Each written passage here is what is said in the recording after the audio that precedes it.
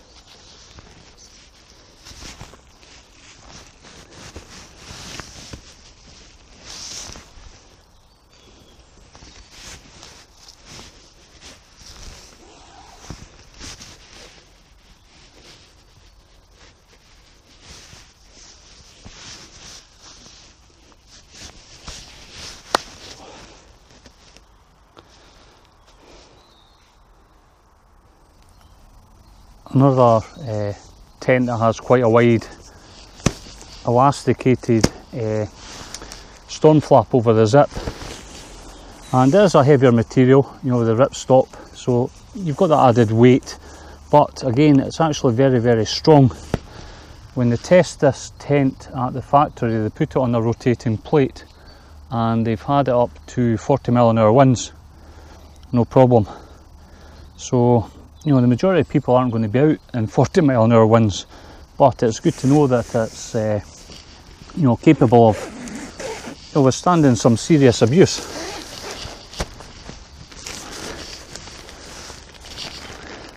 All the seams are taped. And just open up this side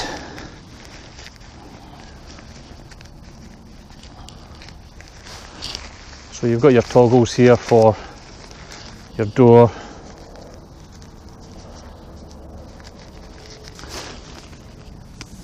The inner tent is got you know a thinner waterproof material and then obviously your your mesh and then your you know windproof section lower down as well.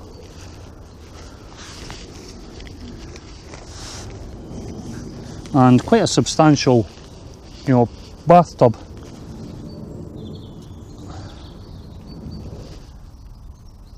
another thing about this tent is the you know the stitching and the robustness of a lot of the points it's quite impressive for a tent of this price, it really is. Uh, the attention to detail is really, really quite good. I'll do is I'll open this door here.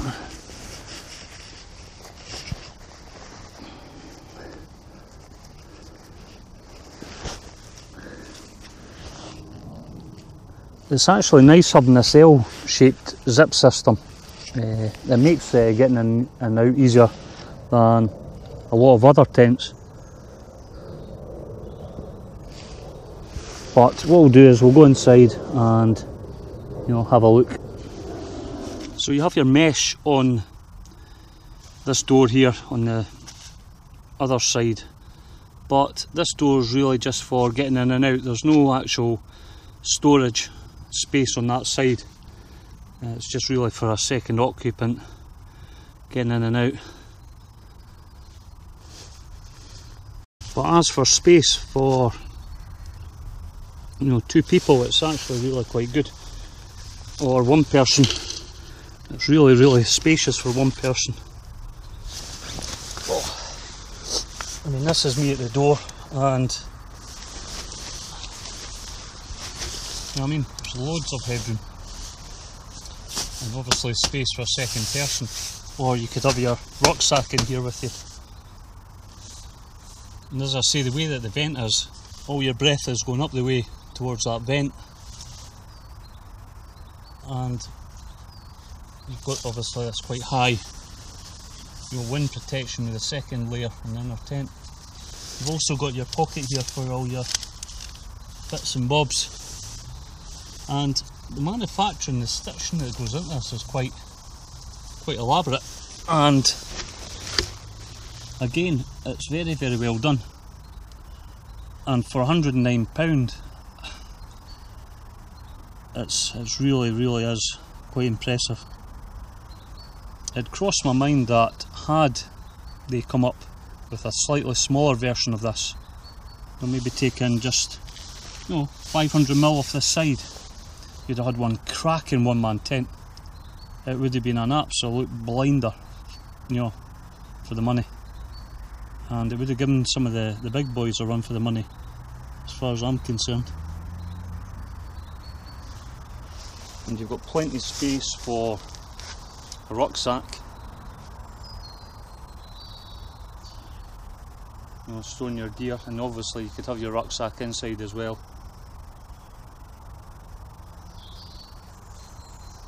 Double uh, points on the poles to stop them you know, flexing.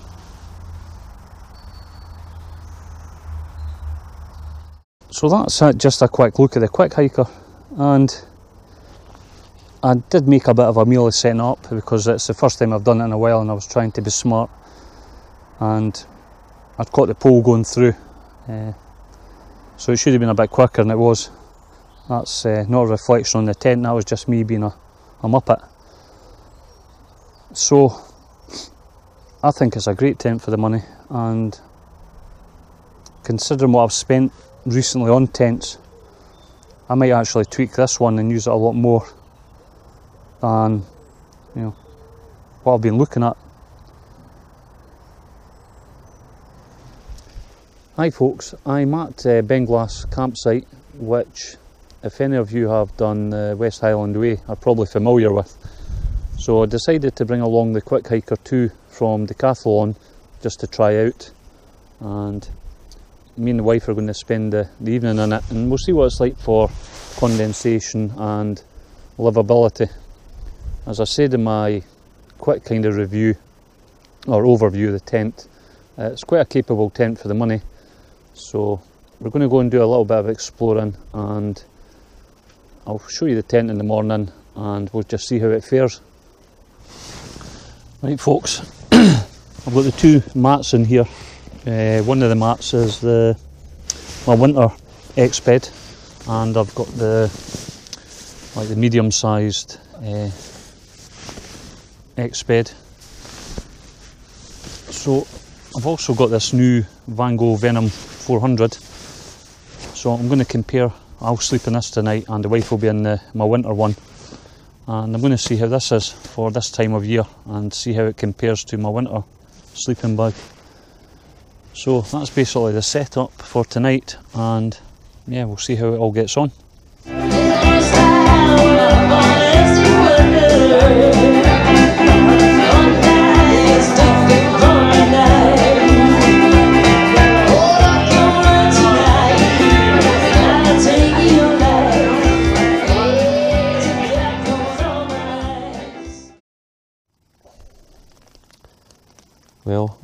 this is uh, morning and two of us have spent the night in the tent and it's performed a lot better than the, the Southern Cross. There's a little bit condensation but you know nothing compared to my last trip. So I'll pan the camera around and I'll show you some of the bits and pieces. It's started to rain but you know a lot of these panels? Are that's actually on the outside. Yeah. A lot less condensation than what I previously had. And sleeping bags. This uh, new Venom 400 was pretty good as well. And it's bone dry so I think this big air vent at the back here makes all the difference in regards to airflow and keeping the condensation down. Uh, during the night I think it was must have got close to freezing and the clouds coming down it started to rain. It was forecast to rain in the morning. That's it and I'll hand you back over to the original review. So if you're new to the wild camping, this could be a, an excellent option for you, uh, especially if you're doing it on a budget and don't have hundreds and hundreds of pounds to spend on, you know, the latest and greatest. As I say, I've used this tent and I still rate it. And after my experience with the Southern Cross, I actually rate this tent better, to be quite honest. And as I say, at the price point, it's just fantastic everything about it is really, really good. Uh, and when we're on about weight here, uh, okay, you could get a, a one-man Terra Nova or a Vango or Hilleberg and things like that, and they weigh 1.4 kilograms or 1.2 or 1, but I'm getting to the point where I would prefer to have the extra little bit weight and a bit more comfort. As I say, this is 1.9 kilograms. It's not backbreaking uh, by any means, and it's once you've pitched it a couple of times, it really is a doddle. I didn't, as I say, I didn't do it justice, and you could lighten it with a few tweaks here and there, one of the other th- things that they seem to do is it's not just that, it's all the components that come with it are really good. Uh, if I get one here, even their, their tent pegs, you know, the, these are uh, dark, uh, lightweight pegs are actually very, very good. And I used them when I was setting up my Southern Cross. So, you know, a lot of other tents that will come with these more like knitting needles than anything else. They seem to have thought of a lot of lot of things. Uh, the other people just, you know, skimp on or, you know, ignore. So when you take in all all aspects of the tent, it's quite an impressive package. So it's a great all-round tent, ideal for two three season use. Wouldn't use it in the winter because of the snow loading issues, obviously in this large panel here. But you know, for two people getting away or one person that's wanting a bit of space, then yeah, I, I don't think it can be beat. It really can't at the price point. So that's just another quick tent look round, and I've also got my eyes on another tent. So, but as I say, I got this one for uh, my daughter to use with her friends when she goes away with the scouts. But I might actually use it and do a few camps with it just to show people its capabilities.